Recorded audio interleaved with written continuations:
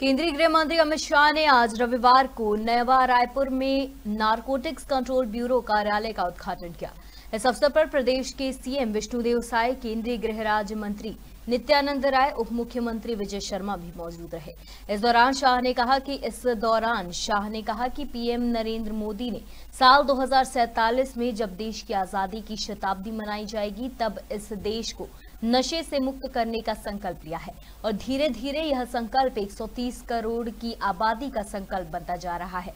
और मैं मानता हूँ कि नशा मुक्त भारत का संकल्प समृद्ध, सुरक्षित और वैभवशाली भारत के संकल्प के लिए बहुत महत्वपूर्ण है।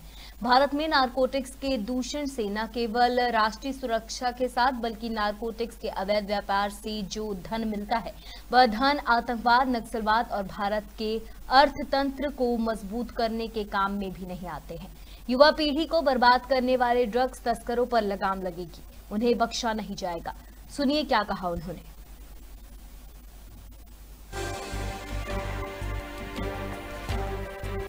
एनसीबी के सेंटर का उद्घाटन भी हुआ। देश के प्रधानमंत्री श्रीमान नरेंद्र मोदी जी ने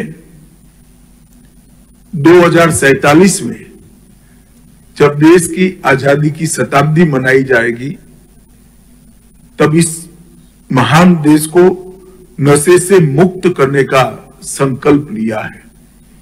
और धीरे धीरे ये संकल्प 130 करोड़ की आबादी का संकल्प बनता जा रहा है। और मैं मानता हूँ कि नशा मुक्त भारत का संकल्प समृद्ध, सुरक्षित और वैभवशाली भारत के संकल्प के लिए बहुत महत्वपूर्ण संकल्प है। एक प्रकार से देखें तो नार्कोटिक्स केवल भारत की समस्या नहीं है अंतर्राष्ट्रीय समस्या, वैश्विक समस्या है। मगर मैं मानता हूँ कि भारत ने सबसे ज़्यादा जागरूकता रखने की ज़रूरत है।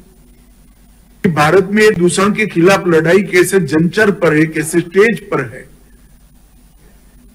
अगर ये लड़ाई हम अभी शिद्दत के साथ लड़े, जनून के साथ लड़े, रणनीति के साथ लड़े तो लड़ाई हम जीत सकते हैं।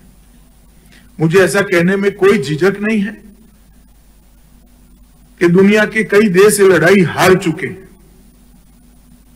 भारत में नारकोटिक्स का दूषण सिर्फ़ नारकोटिक्स का दूषण नहीं है राष्ट्रीय सुरक्षा के साथ भी जुड़ा हुआ है।